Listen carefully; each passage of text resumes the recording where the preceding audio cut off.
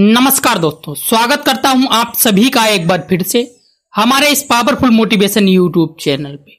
दोस्तों, आज के इस वीडियो में हम आपको चाणक्य नीति के द्वारा बताएँगे कि दुश्मन को उसकी औकात कैसे दिखाएँ, उसको किस तरीके से पराजित करें। दोस्तों, सच है कि कोई भी अपने दुश्मन जानबूझकर नहीं बनाता है, लेकिन ये अनजाने में बन जाते हैं।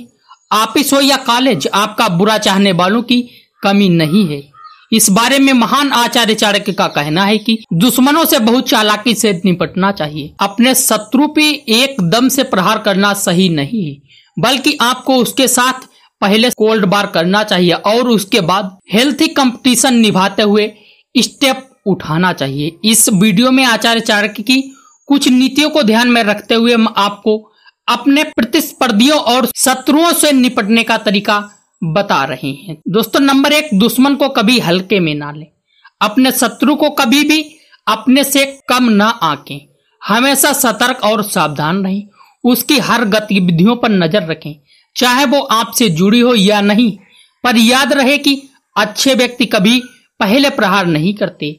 आप उनसे मूव का इंतज़ार करें और उसके बाद ही अपना कदम उठाएँ। दोस्तों, दूसरी बात है उसके बारे में पूरी जानकारी रखें। अपने दुश्मन की हर कमज़ोरी और मजबूती को जानें। चाणक्य का कहना है कि आप अपने शत्रु को एक तिहाई तभी हरा देते हैं जब आपको उसके बारे में हर जानकारी पता चल जाती है तो आप उसे आसानी से पराजित कर सकते हैं। दोस्तों, तीसरी बात चाणक्य जी कहते हैं, अपनी रणनीतियों का अभ्यास करें। आप जो भी रणनीतियाँ अपने शत्रु के खिलाफ अपनाने जा रहे हैं उनका अभ्यास कर ले और समझ ले कि आपको कहाँ कैसे कदम उठाना है। क्योंकि कई बार सोचने और उसे कार्यान्वित करने में काफ़ी अंतर होता है। दोस्तों, चौथी बात चाणक्य जी कहते हैं, शांत। आप अपने दुश्मन के साथ सिर्फ़ दिमाग से लड़ें तो बेहतर होगा। लड़ाई या हाथापाई आखिरी विकल्प होना चाहिए। हमेशा डंडे दिमाग से अपने शत्रु के खिलाफ चलाने चाहिए। दोस्तों, चाणक्य जी की पांचवी बात बताते हैं। शत्रु से घृणा ना करें। चाणक्य इस बात पर ज़ोर देते हैं कि कभी भी अपने शत्रु से घृणा ना करें। इससे आपकी तार्किक शक्ति मर जाती है। उसके साथ एक खिलाड़ी की तरह पेश आए।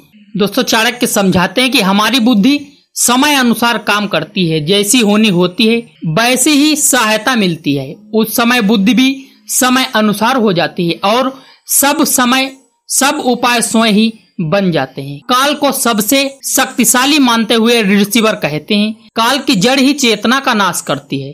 काल ही संसार का संहार करता है और काल ही सदा जागृत रहता है। काल का अतिक्रमण नहीं किया जा सकता है। चाणक्य इन बातों को किसी को ना बताने की सलाह देते हैं।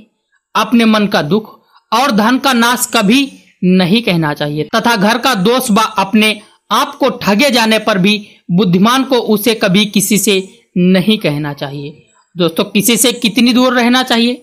कौटल्य समझाते हैं, गाड़ी से पाँच हाथ, घोड़े से दस हाथ पर। हाथी से हज़ार हाथ दूर रहना चाहिए। और दुर्जनों का तो कभी साथी नहीं करना चाहिए।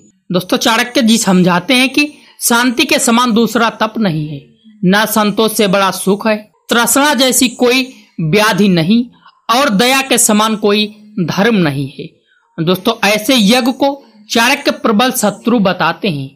ऐसे यज्ञ के समान दूसरा प्रबल शत्रु नहीं है, क्योंकि मंत्रहीन यज्ञ, यजकर्ता को दानहीन यज्ञ, यजमान को और अन्नहीन यज्ञ राज्य को नष्ट कर देता है। चाणक्य बताते हैं कि ये कार्य इंद्र की लक्ष्मी को भी हर लेते हैं। अपने हाथ से गुथी हुई माला, अपने हाथ से घिसा हुआ चंदन और अपने हाथ से लिखा हुआ स्त्रोत इंद्र की लक्ष्मी को भी हर लेता है।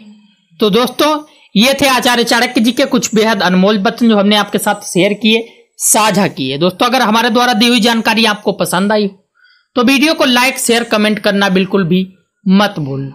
तो चलिए दोस्तों, मैं मिलता हूँ आपसे किसी ऐसे ही ज्ञानवर्धक वीडियो के साथ।